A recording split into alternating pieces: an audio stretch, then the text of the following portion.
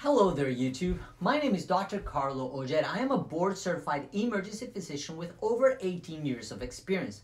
I have a passion for patient education and technology and joining the two, I create videos just like this one, mostly found at patienteducation.video, where I have them organized alphabetically or you can use the search box on the right side of the page to search what you're looking for. In this patient education video, I will discuss the topic of heart palpitations. If you're watching this video, it's most likely because you are experiencing heart palpitations and would like to know more about them. Like what are they? What causes them? Are they dangerous and how to stop them? In this video, I will do my best to educate you on this subject. So what are they? Palpitations are your own self-awareness of your heartbeat or pulse. Sometimes that is all it is, an awareness of your own heartbeat and nothing more. The heart beats like clockwork at regular speed between the beats of 60 to 90 beats per minute. And rhythm, each beat happens at the same intervals from each other with very minor variations for respiration. Palpitations are felt when the heartbeat is too slow, too fast, or just irregular. So, if you feel palpitations, the first thing that you should do is measure your own heartbeat. You can do this by feeling in your wrist, you can do this by feeling your carotid area of your neck, or you can do this by feeling on your femoral area. You must count the beats over 30 seconds or better yet a minute so you get a more accurate read of your heartbeats per minute. Try to feel if the rate is slow, usually less than 60 beats per minute, or too fast, more than 90 beats per minute. Does it feel regular or does it feel irregular? The most common time of irregular heartbeats are premature atrial and premature ventricular contractions.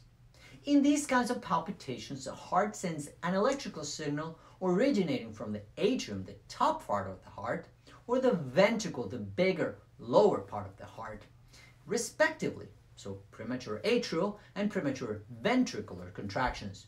Regardless of where they originate in your heart, they feel the same way to the patient.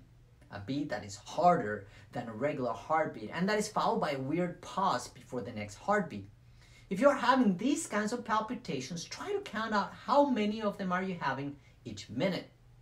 Are they happening at regular intervals? Meaning, do they happen every other heartbeat? Do they happen every third, every fourth? Do they happen in sets or alone?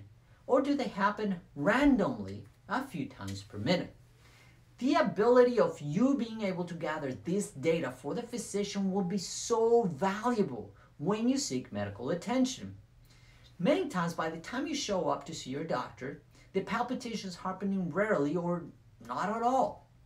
The better information you can provide, the more likely the medical provider will be able to make an accurate assessment and therefore treatment.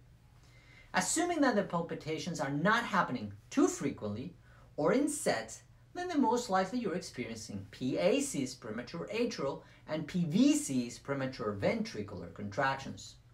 Most of the time, these occur due to strain on the heart muscle. And there are many different things that can do that. Stress, but I don't mean just stress emotionally, but that's one of them, but also stress by overworking your heart muscle, like high blood pressure would do that.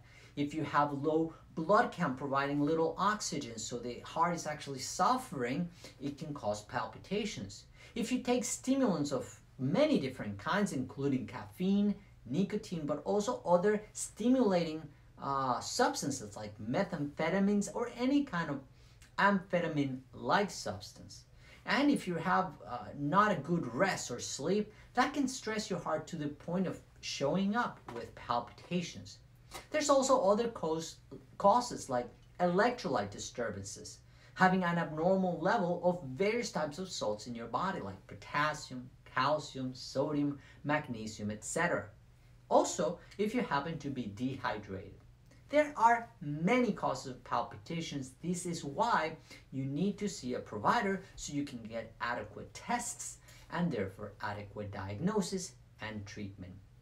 Treatment will be directed at correcting the underlying cause of the palpitations if such cause is identified during the medical evaluation. Sometimes, even if no cause is found, the physician may decide to start you on a rate control medication to slow and rest your heart, making these palpitations less frequent and thus less symptomatic to you, the patient. Some of these medications are metoprolol, atenolol, any kind of beta blocker medication that slows down the heart rate and slows lowers your blood pressure as well. There are other medications like calcium channel blockers, etc., but these are the most common. Sometimes heart palpitations are caused by electrical conduction issue. That means that the electrical signals are not traveling at the speed or rate that they normally should. These palpitations are potentially a lot more serious and need an accurate diagnosis to be able to treat it. It might require the placement of temporary or permanent pacemakers to restore normal electrical function to the heart. Other palpitations are associated with very fast heart rates, i.e. more than 110 or 120 beats per minute. Most of these tachycardias, fast arrhythmias, are potentially serious and do require a prompt diagnosis and treatment. If your rate is fast but regular, you're most likely experiencing SVT, supraventricular tachycardia. This kind of arrhythmia is a result of a short circuit in the heart that causes the electric impulses to travel fast and round and round and round, causing the heart to beat at rates of excess of 150 beats per minute. This arrhythmia is treated with vagal maneuvers like asking the patient to cough harder, hold their breath and bear down, or push their fist against their belly, bear down. There are many different kinds of vagal maneuvers, but they will attempt to do these vagal maneuvers to see if we can break the short circuit and stop the SVT. If these maneuvers don't work, then the provider must try other medications to reset your heart and turn you back into normal sinus rhythm. SVT is usually not dangerous for most people, especially young healthy people, but in people with underlying medical conditions, so such stress in the heart, going so fast and so hard for so long, can cause muscle injury to the heart, even myocardial ischemia, heart attacks. So, proper blood tests need to be ordered as part of the medical evaluation of a patient who suffers from this kind of arrhythmia. If your heart rate is fast, but it's also irregular, so this can be due to atrial fibrillation or fibrillation of the atrium, the top part of the heart.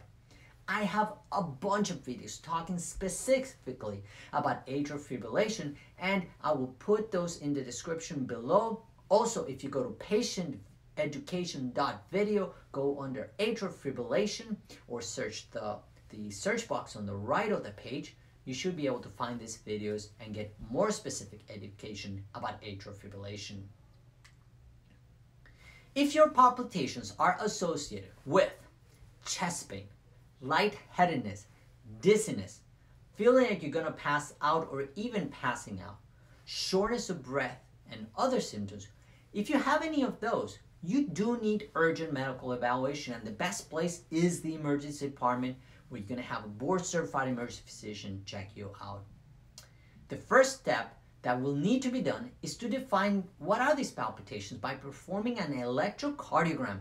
In, in Europe and stuff, they call them ECGs. In the United States, we call them EKGs, but it should be ECG, electrocardiogram.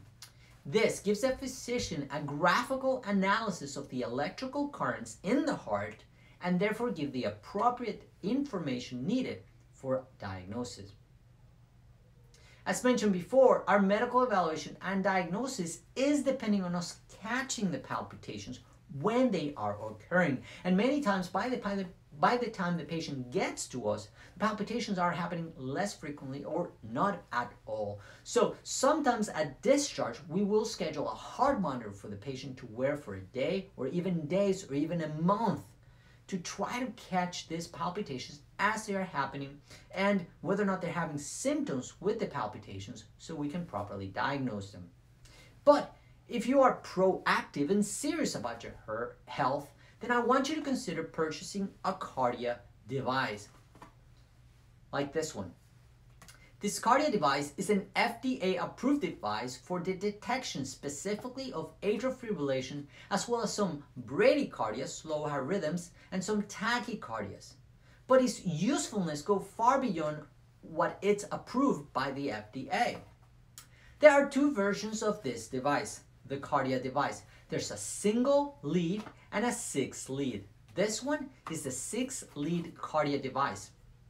The single lead version produces a medical grade tracing of the electrical conduction of your heart. And the six lead version produces six different ways to look at the electricity conduction of your heart.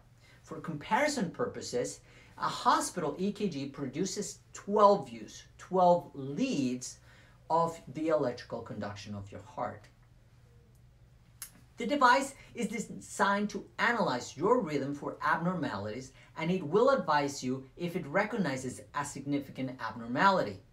It will also allow you to save that recording to a PDF file that can then be shared through the app with an electrophysiologist or cardiologist that are hired and paid for by the app. And then they can read it for you and send you an official interpretation. But also, you can take that file of the electrocardiogram that you took with the device and send it to your cardiologist, your friend or healthcare worker that you know, and they can look at this. Having this information readily available when you show up for an evaluation will surely expedite your diagnosis and treatment. And you might not have to wait for weeks or months for this Holter monitor device to catch it because you already came with an ECG. So, if you are experiencing palpitations, the sooner you get a medical grade tracing demonstrating what is happening to your heart, the sooner a diagnosis can be made and treatment started. So, I want you to consider purchasing a Kardia device. It costs 80 something dollars for the single lead version and 150 something dollars for the six lead version. I actually have both because I too suffer from palpitations from time to time. In my case, it's not atrial fibrillation, it's PVCs, premature ventricular conductions. And it usually happens after I switch from night shifts to day shifts to late shifts. It's that constant change that stresses your heart and causes for me to get palpitations. Also, working night shifts makes me drink more soda, caffeine, which in turn can worsen the palpitations. This video is not sponsored by this device. I just believe that the quality and accuracy of the product is great. And I actually own one myself, like I just said. I experience palpitations, and this helps me get an EKG on my own without having to go to the emergency department. If you have found this video helpful and you have a family member or yourself who suffers from bradycardia, tachydysrhythmias, atrial fibrillation, atrial flutter, some kind of heart block, or even heart disease, this is not meant to diagnose heart attacks the, the website will say this is not a heart attack diagnostic um, ECG. However, it will produce the heart attack specific abnormalities in that EKG or. Therefore, it can actually diagnose it, but they can't go as far as saying that just because of legal matters. Again, this is a six lead ECG device. So the value of that information is just tremendous. I want to thank you for watching this video. Please like, share, especially share with someone who has problems with palpitations or will find this information useful.